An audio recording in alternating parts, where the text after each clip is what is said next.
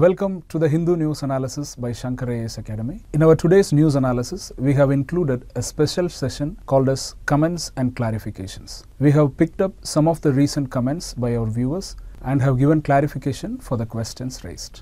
We have planned to do it once in a while so as to ensure accountability and to be responsible on our part with respect to the content that we provide in the Hindu News Analysis. In a way, it will also provide clarity to our viewers on various issues. Now displayed are the list of news articles selected for today's analysis and their page numbers in five different editions of the Hindu newspaper.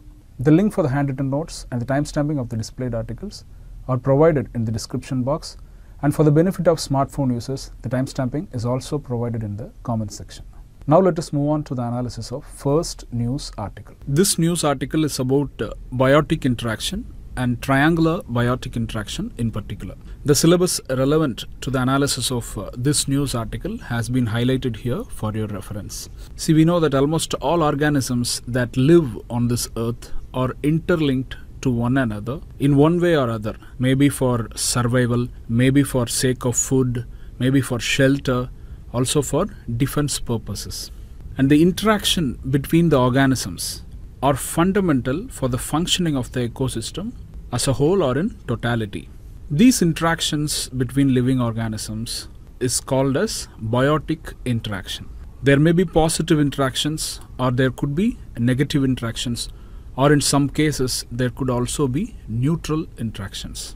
First let us see different types of interactions with some illustrations or example. First let's see about mutualism. In this type of interactions, both the species benefit. Here consider that two species are interacting with each other. So in mutualism, both species benefit. A classic example could be the pollination process. See, bees go in search of flowers for nectar. They get the nectar from different flowers and at the same time, they also transfer pollen from one flower to another. Here, the act of transferring the pollen grains through the bees is what we call as pollination, wherein the pollen grains from the male anther of a flower will be transferred to the female stigma. And know that one of the ways that plants can produce offspring is by making seeds. And seeds can only be produced when pollen is transferred between flowers of same species. And bees help in this transfer of pollens. So in this mutualism, bees get nectar or honey, whereas the plants that cannot move or the stationary plants, they reproduce with the help of bees through the offspring such as seeds. So here both the species are benefited and therefore it is also a positive interaction. Next interaction is commensalism. See it's an interaction where one species gets benefited whereas the other is unaffected. For example, say creepers like money plant. See money plant grows on the trees for the purpose of getting sunlight. And this growth of money plant will no way affect the trees. So the money plants benefit because of this interaction, whereas the tree on which the plant grows remains unaffected. This is also a positive interaction. See, next interaction is competition. See, this is a negative interaction. Here, both the species are affected or harmed by the interaction. For example, let us take a pond where there are limited zooplanktons. We know that zooplanktons are a source of food for fishes in the pond. If a fresh species of fish is introduced, then the resident fishes and the introduced new fishes will compete for food that is the zooplanktons. So this is a type of interaction where there is competition and it is an example for negative interaction. Next interaction is amensalism.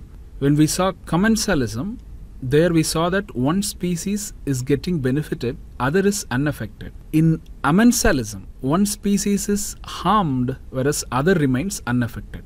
For example, take a large tree and a small plant. The large trees will shade over small plants that grow nearby the large trees.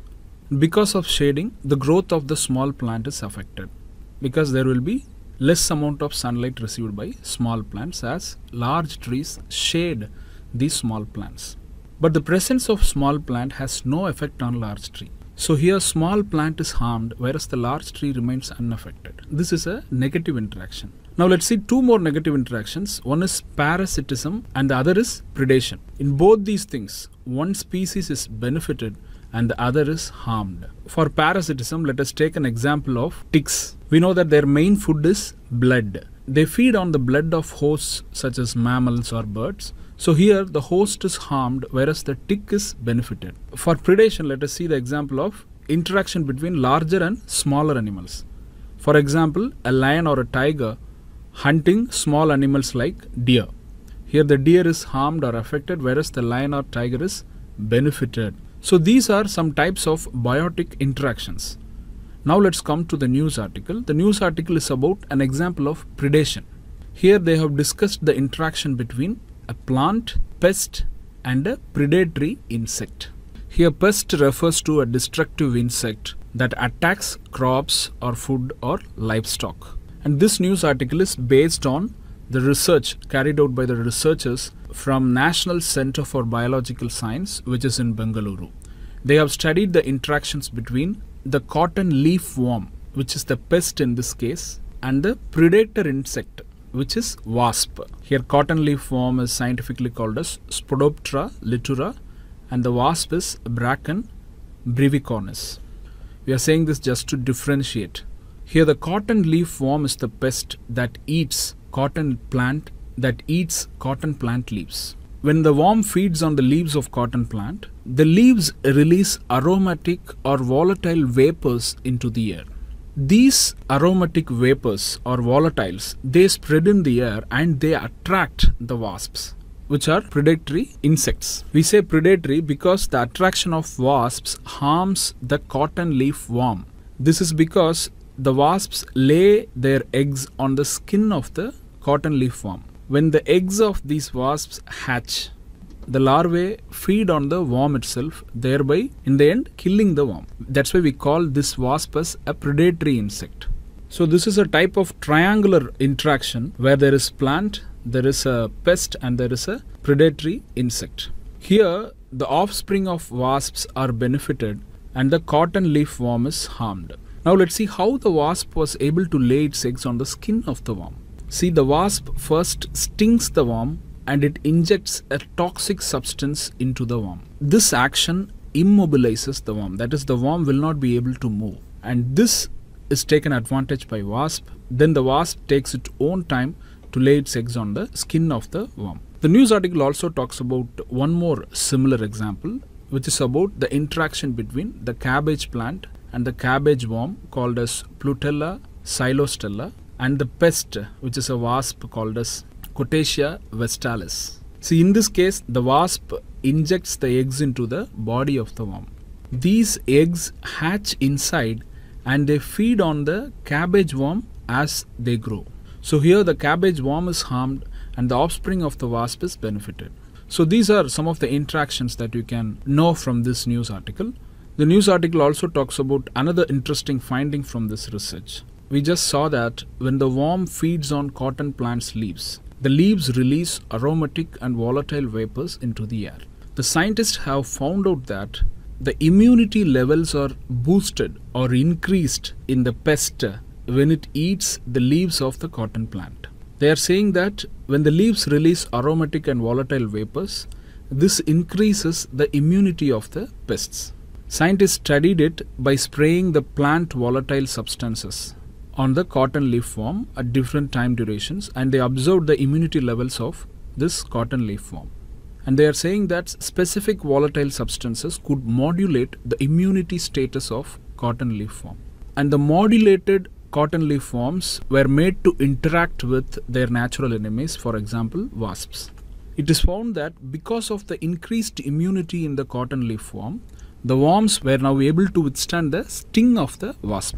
See, when we say wasp stings on this cotton leaf worm, it means that the wasp produces a small but painful injury to this worm with the poison either by brushing against the skin or by making a very small hole in the skin of the worm. Now, because of increased immunity in the cotton leaf worm, the negative interaction of predation by the wasp is kind of arrested or stopped. So this is one another matter discussed in this news article.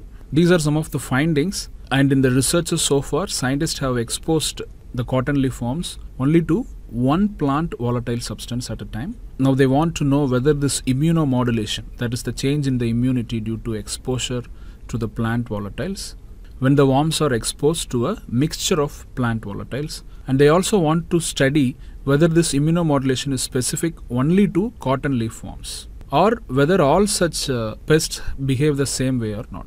And they will be also studying about whether the wasps build any natural mechanism to combat or to find increased immunity of the worms.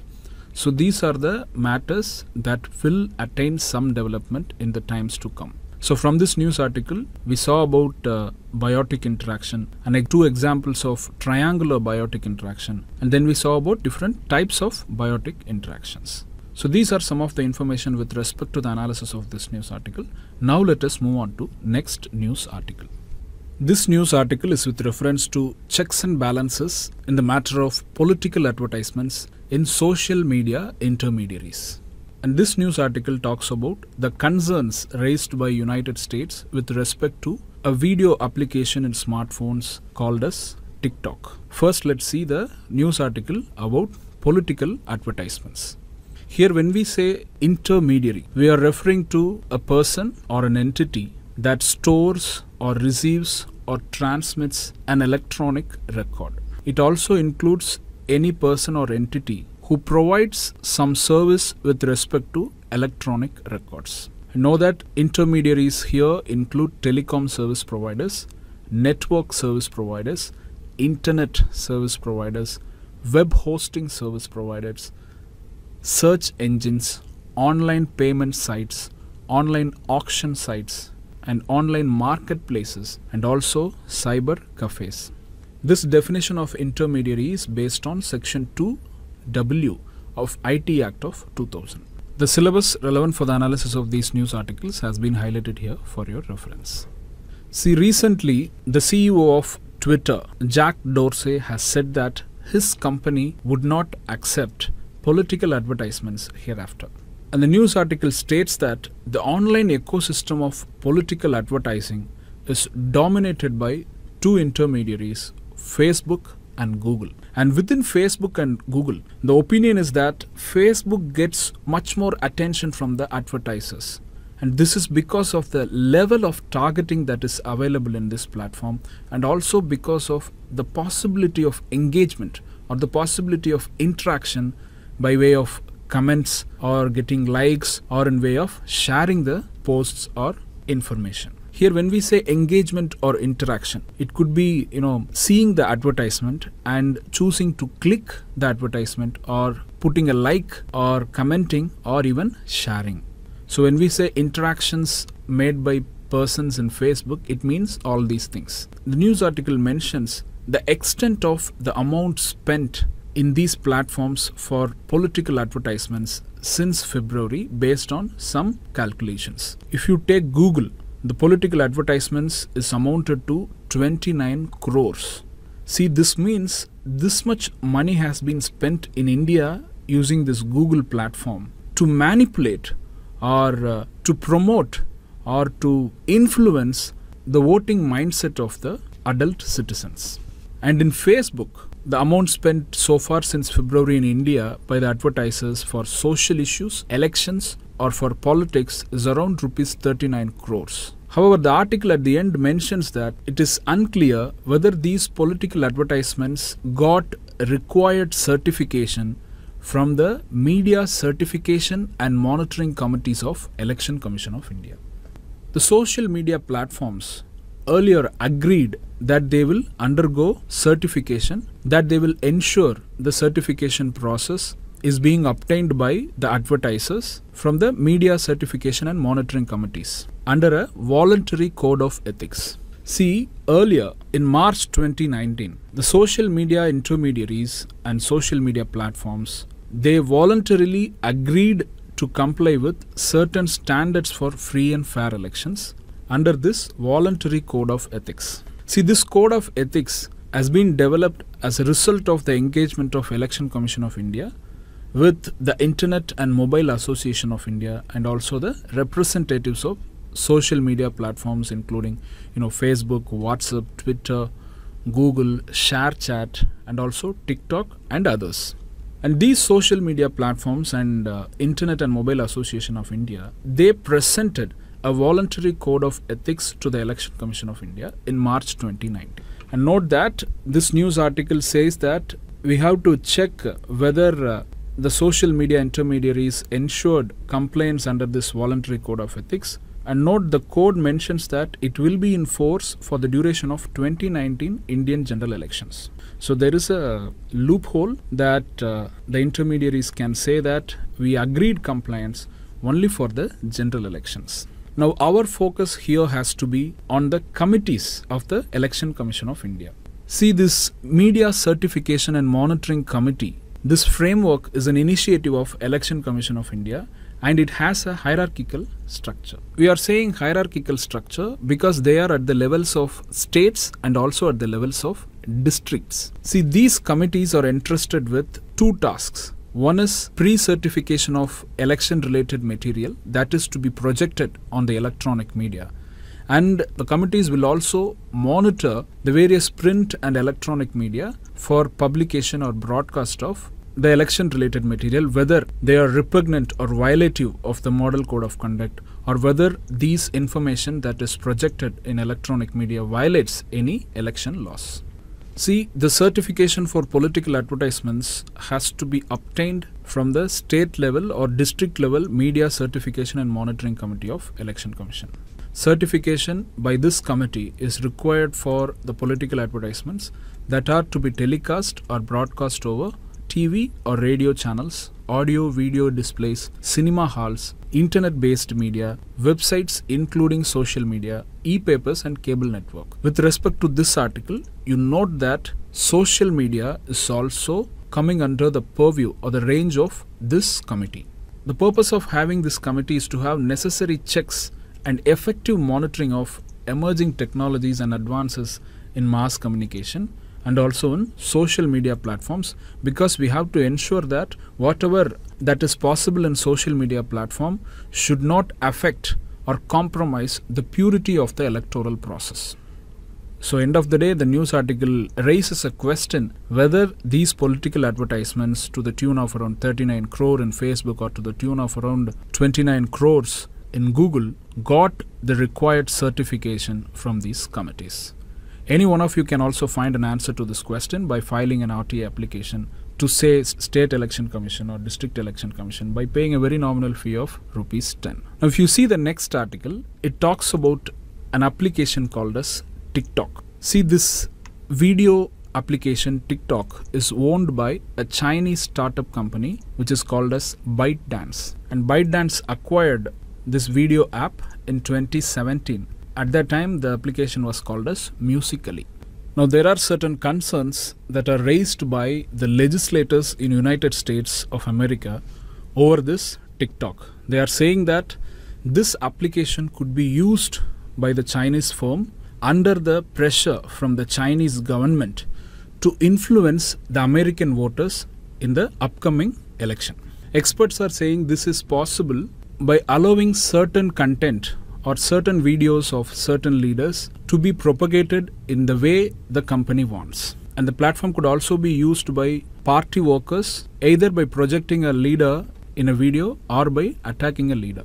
And majority of the people who are infected or affected by the platform would be the young people and when they attain the age of 18 it could act in their decision making. In addition to this, the United States lawmakers are also saying that there are national security risks because whatever information the Chinese app collects could also be used for spying by China.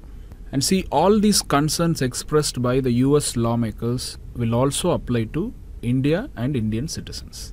Now the issue is that United States has decided to investigate this video application through its Committee on Foreign Investment. It is going to look certain issues with respect to the acquisition of this app by the ByteDance firm, which is a startup in China. These are some of the information with respect to the analysis of these news articles. Now let us move on to next news article. This news article is with respect to adjusted gross revenue, shortly called as AGR, and its impact on telecom operators because of a recent judgment by the Supreme Court.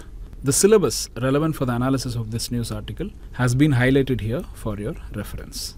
See, when we say adjusted gross revenue, it refers to gross revenue after some specific deductions. See, this adjusted gross revenue amount is taxable by the government. So now the, the issue discussed in this news article is between the government, that is Department of Telecommunications, versus the telecom operators in India. And the matter is about what all the things that constitute this adjusted gross revenue. The news article states that the matter about the definition of AGR has been in litigation in courts for around 14 years. Telecom companies are saying that it should comprise revenue only from telecom services. But Department of Telecommunication argues that it includes all revenue earned by a telecom operator, even those includes that are not core telecom operations. For example, earnings from rent, profit on sale of fixed assets, corporate deposits, real estate transactions, and others. So, these are some of the examples of operations that are not core telecom operations. See, when this AGR increases, that is, when this adjusted gross revenue increases, the telecom operators have to pay more money to the Department of Telecommunication. That is why they are opposing to the wide definition of AGR put forward by the government. And note that this adjusted gross revenue is also the basis on which levies or taxes and certain charges are also calculated from, from telecom operators or telecom companies. The article states that telecom operators pay 8% of adjusted gross revenue as license fee and their payment with respect to spectrum usage charges vary between 3 to 5% of AGR. That is why they are saying this adjusted gross revenue is a basis on which certain charges and levies are calculated. So the lower the adjusted gross revenue, the lower the levies and fees and hence lower the money flow from telecom operators to the government. So what is the judgment of the Supreme Court with respect to this matter. See, on October 24, Supreme Court ruled in favor of the Department of Telecommunications interpretation of adjusted gross revenue. This is seen as a strike or a blow to the telecom operators, and as a result of the Supreme Court judgment, the around more than 10 telecom operators have to now pay an estimated amount of rupees 1.4 lakh crore to the government that too within a tune of three months.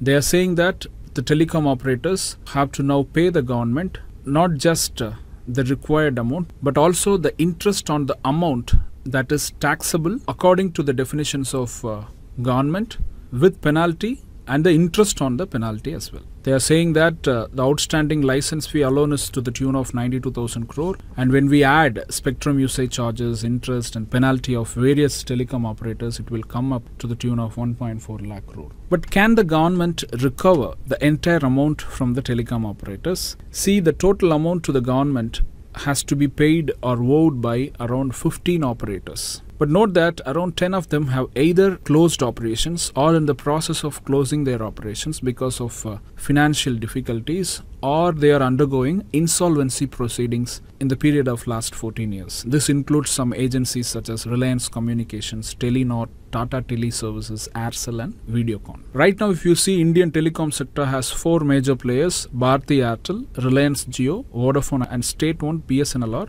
MTNL. So because of the financial distress in some of the telecom companies, the author is of the opinion that the government is unlikely to recover the entire amount of dues owed by these companies to the government. Of the current players, who are the mostly affected? They are saying Bharti Airtel and Vodafone Idea they are worst affected because they have to pay individually to the tune of around 40,000 crores to the government. And BSNL and MTNL together have to pay around 5,000 crore. And they are saying that the least impacted will be Reliance Jio because it is a relatively new entrant in this telecom market, entered only in September 2016 and they have to pay around some 14 crore. So the most affected will be Airtel and Vodafone. But the telecom industry as a whole, along with these telecom operators, it is being said that they are already reeling under a debt of around 4 lakh crore. So in this scenario, the verdict of the Supreme Court acts as a big blow to this industry And on several counts, even the government has admitted that the telecom sector requires support and is undergoing financial stress. And the government has recently announced setting up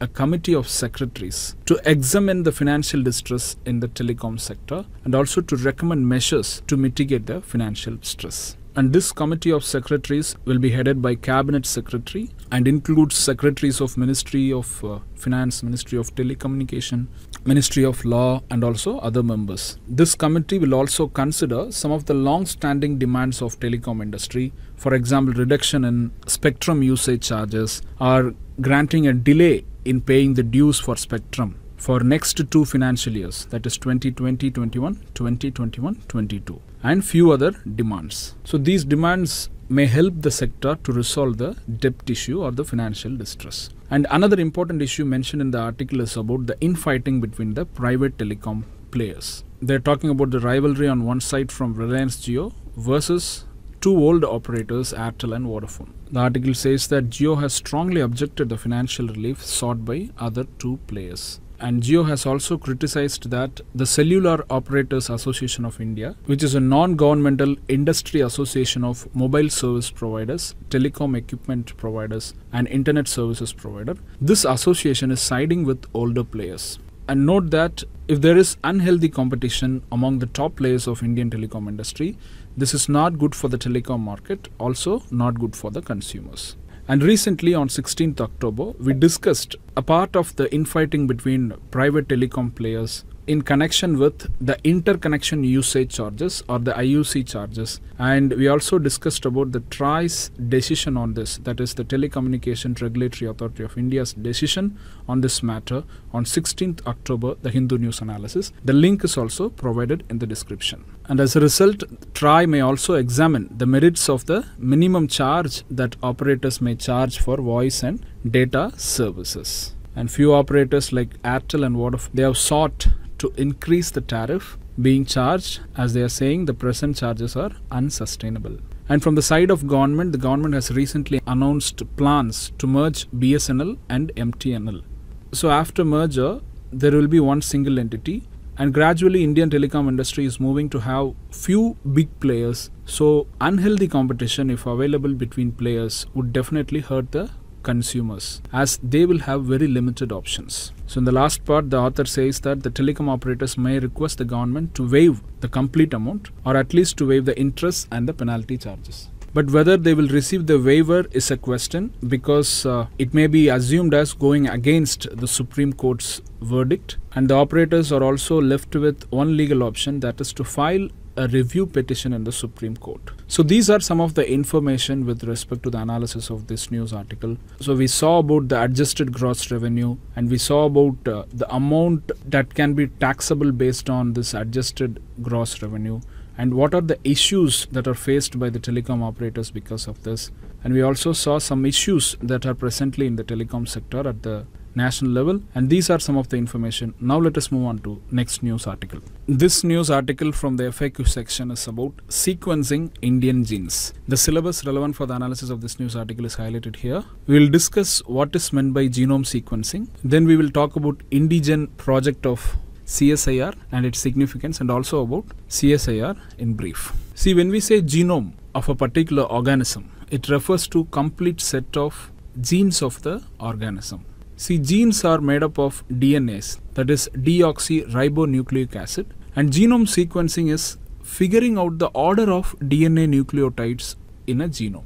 That is in what order adenine, guanine, cytosine and thymine are making up the DNA of an organism. A translated DNA sequence has shown here in the form of alphabets. In this particular piece of DNA, the genome sequence is that we can see an adenine is followed by a guanine, which is followed by thymine, which in turn is followed by cytosine, another cytosine and it goes on in the way as depicted or shown here. Now let's come to the news article. It states that the Council of Scientific and Industrial Research they have recently announced completing or concluding a 6 month exercise of whole genome sequence of around 1008 Indians. The project the exercise has started from April 2019. See this project is part of a program called as IndiGen This project is aimed at indigenous genetic mapping effort by Council of Scientific and Industrial Research. It has sequenced the genomes of nearly 1000 Indians from various parts of India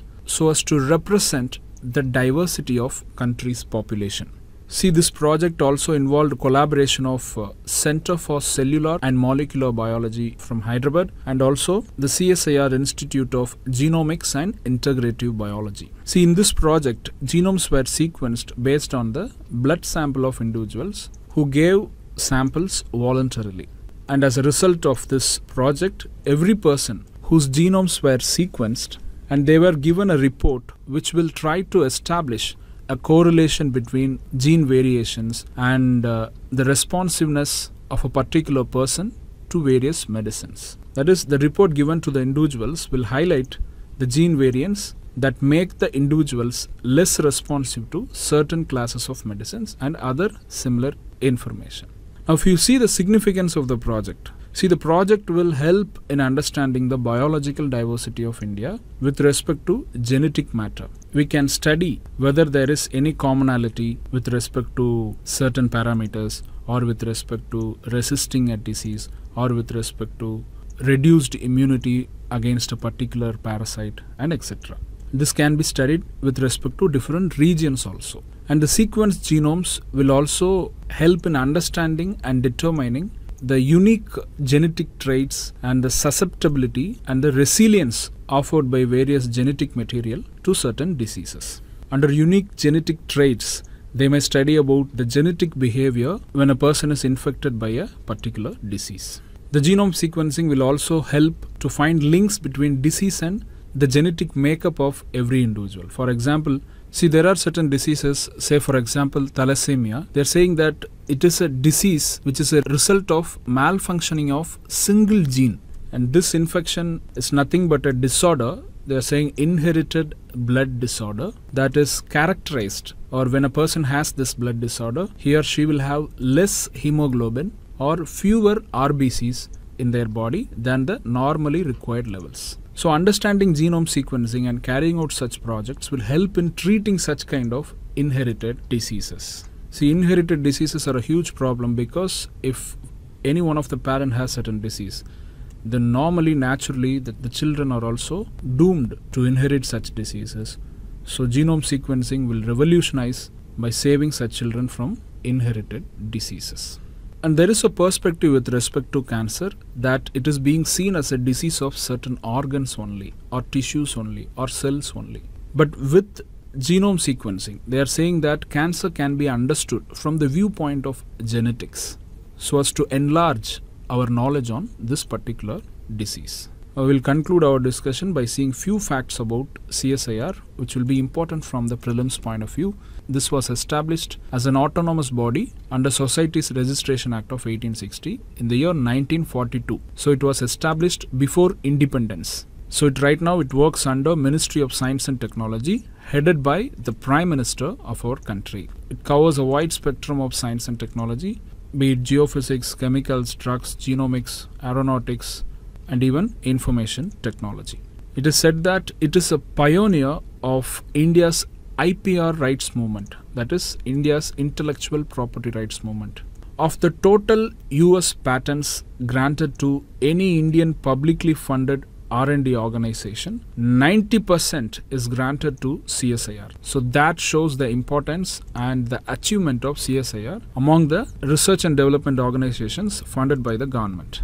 And it is also said that CSIR is also a leader in terms of filing for patents and also securing patents at the international level among its peers who are publicly funded research organizations in various countries and various regions. So, with respect to this news article analysis, we saw about uh, genome sequencing, IndiGen project, and the significance of this project and genome sequencing. And we also saw some facts about Council of Scientific and Industrial Research. So, these are some information. Now, let us move on to the analysis of next news article. Now, this news article is with respect to signing of Naga Peace Accord. The Deputy Chief Minister of Nagaland is saying that it will take few more days or more time to sign the peace deal between the government of India and some of the Naga groups including the National Socialist Council of Nagaland IM faction. And one of the reasons for the delay is because now there are uh, more major groups involved in involved in this process and the present government of Nagaland is yet not clear about their role once the peace accord will be signed. And there is also issues with respect to neighboring states of Assam, Manipur and Arunachal Pradesh because these states also have pockets of Naga populated areas and we know that one of the demands of uh, the Naga groups is that these areas which are contiguous with Nagaland has to be territorially integrated with Nagaland or Nagalim agenda or Greater Nagaland agenda. And it is said that these states are not interested in territorial reorganization. And the news article also talks about the words of the chairman of Ceasefire Monitoring Group. See, on 1st November, we discussed the background of the Nagaland political problem since 1918. We discussed based on a timeline of events till the present developing issues related to this Nagaland issue.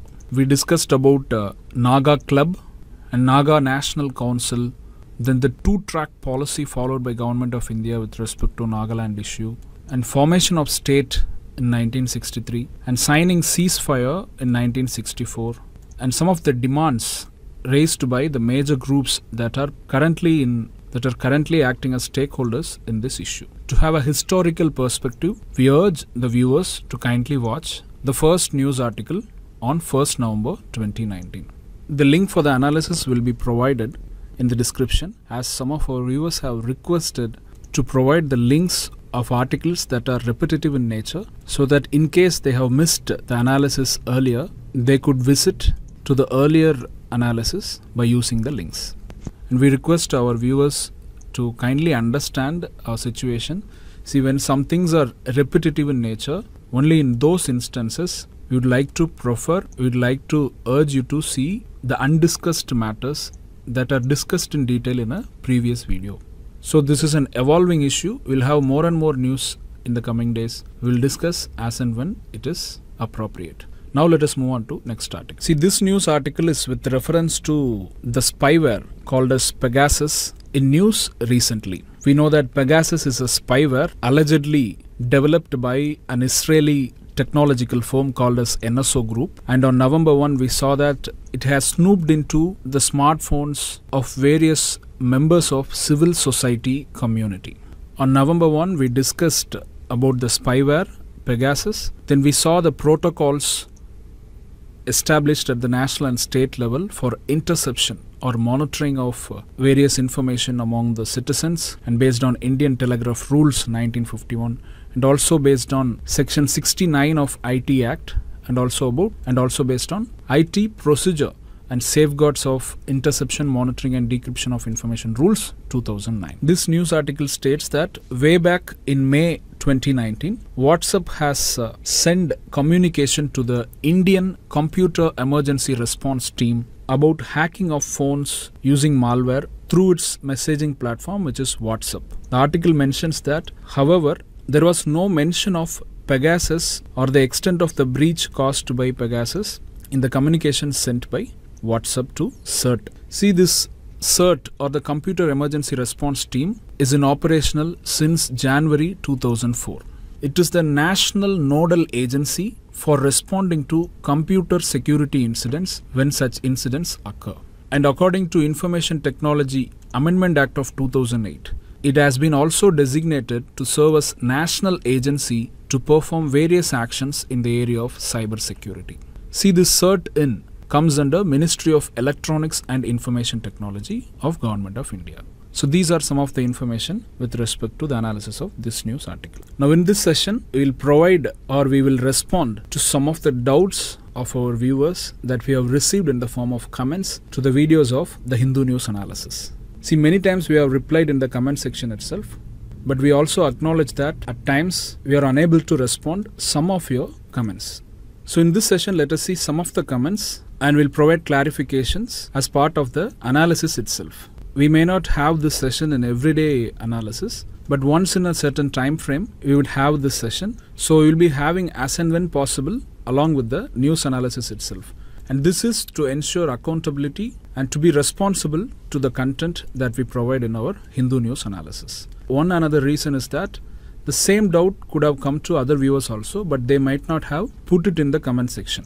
So, this will benefit those who had the same doubt or it will provide clarification for the viewers. Yesterday, we discussed a news matter with respect to US China trade war, and we have mentioned that WTO is not a United Nations body. So, one of our regular viewers has asked the question Is WTO not a specialized agency of United Nations? See, when we say specialized agencies of United Nations, it is a separate set of agencies under UN. These are international organizations that coordinate their work with the United Nations through negotiated agreements. So right now there are 15 specialized agencies of United Nations. You can see the 15 agencies here. And from this list you can clearly say that WTO or World Trade Organization is not a specialized agency of UN.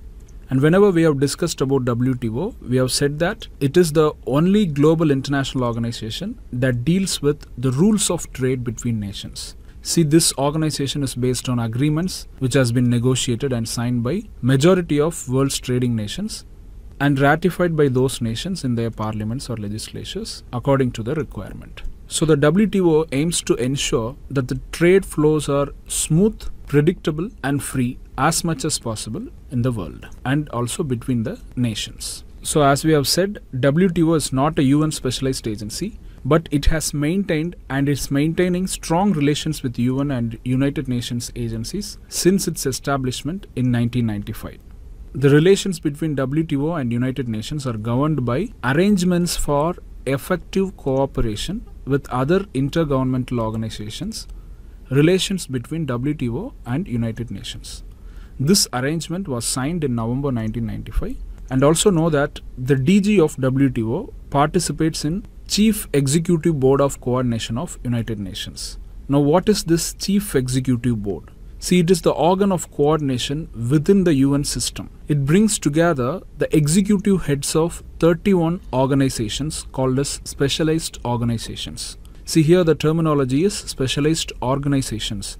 These are different from specialized agencies of United Nations. The Chief Executive Board brings together executive heads of these organizations to deliver as one or in a uniform manner at the global level or regional level or at the country level. And this Chief Executive Board is the prime instrument or important instrument for strengthening the coordination role of UN intergovernmental bodies on social, economic, and other matters. So, this CEB includes UN, its specialized agencies that are 15 in number, then three related organizations. Of these three related organizations, one of them is WTO. Then there are 12 funds and programs that are created by UN General Assembly. The recent member to join CEB is International Organization for Migration. And WTO is also a member in Chief Executive Board. We saw that DG of WTO participates in this board. So WTO is a related organization to UN and it is not a UN specialized agency. And this comment is with reference to our discussion on October 29 with reference to the impact of legal provisions in Forest Rights Act of 2006 and Panchayat Extension to Scheduled Areas Act of 1996 and the Indian Forest Act of 1927. Here the viewer has asked Please clarify whether Nayakpod tribe is in PVTG list. I have checked the latest list from Ministry of Tribal Affairs and only Kolam tribe is there.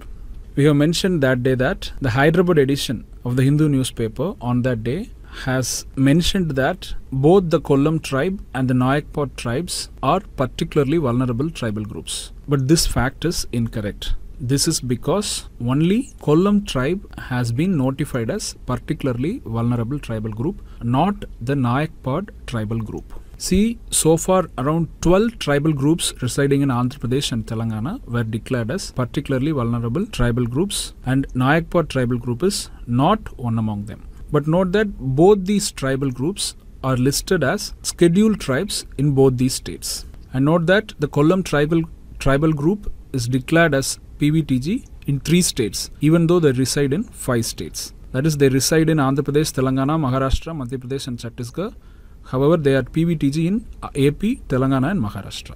Now, this comment is with reference to our discussion related to National Health Profile of 2019, on November 1. Can you please explain Central Bureau of Health Intelligence is in which ministry? As a one liner, we can say it comes under Ministry of Health and Family Welfare. Within this ministry, it comes under Directorate of it comes under Directorate General of Health Services. See, this Central Bureau of Health Intelligence is the national nodal agency for health intelligence. So it comes under Ministry of Health and Family Welfare.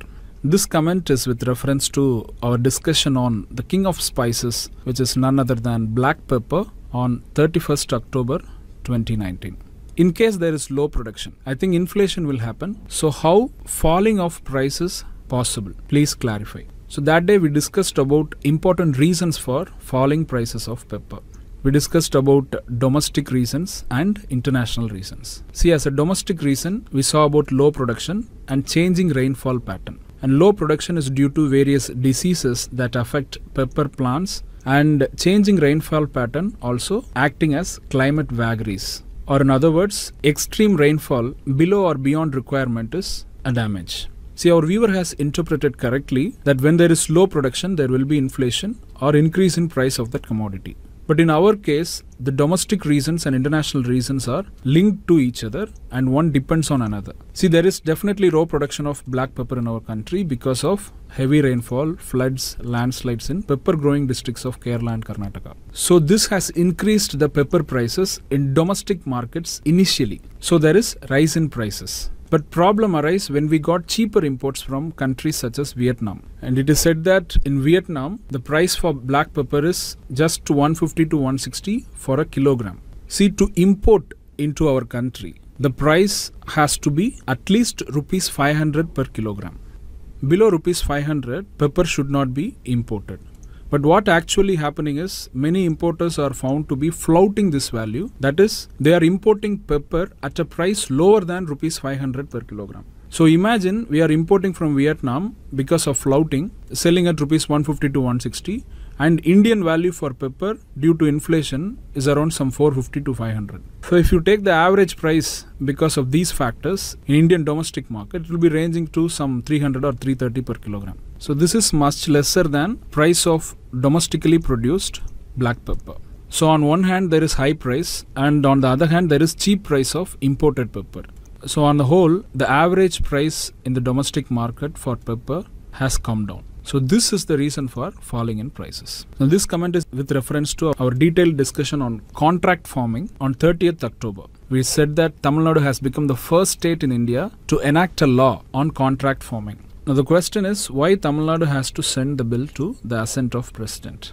Now this matter is with respect to polity. See under Article 200 and 201 of Indian Constitution. Whenever a bill has been passed by the state legislature, it shall be presented to the governor. The governor shall either give assent to the bill or he can withhold assent to the bill or he can reserve the bill for the consideration of the president. So, in this matter, the governor of Tamil Nadu would have reserved the bill for the consideration of the president, and thereby, under Article 201 of Indian Constitution, the president has given the assent to the bill and with reference to what are the specific reasons why the governor of Tamil Nadu would have reserved the bill for the consideration of president, we are unable to get the reasons from authentic sources. Now the next comment. Will you please explain the latest India's lost case in WTO which was filed by America regarding export subsidy? So we would like to inform that this matter will be discussed along with the Hindu news analysis when we analyze a similarly situated news article with respect to WTO. So with this we come to the end of this comments and clarification section. Now let's see some practice questions based on the information from today's analysis. Now this question is with reference to IndiGen project. They have given two statements and are asking which of the above statements are correct. First statement, the project is aimed at an indigenous genome sequencing of every Indian by Council of Scientific and Industrial Research. The statement appears to be correct but see, they are saying every Indian, which is wrong. We know that it has sequenced the genomes of nearly 1000 Indians in different regions from different regions of India. So the first statement is wrong because of the words every Indian, though the project is an effort of Council of Scientific and Industrial Research. The second statement, the sequenced genomes would enable in understanding and determining unique genetic traits, susceptibility and resilience to diseases. Now this statement is correct. So the correct answer for this question is option B 2 only. Now this question is with reference to biotic interactions.